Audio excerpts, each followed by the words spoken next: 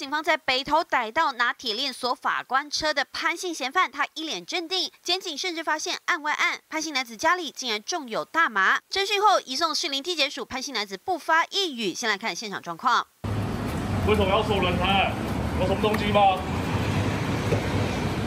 初步了解，潘姓男子日前就常常在士林北投一带闹事，甚至有过两次砸 ATM 的记录，疑似案件缠身，心生不满，随即到士林地方法院锁里面工作人员的车辆。当天法警协助剪断铁链之后，被锁车的法官才终于脱困。侦讯过后，男子被申请羁押。法官审理认为，潘姓男子涉犯强制、恐吓，还有妨害公务等罪，家里栽种大麻，也违反毒品危害防治条例。开庭之后裁定羁押，并且禁止接见同性。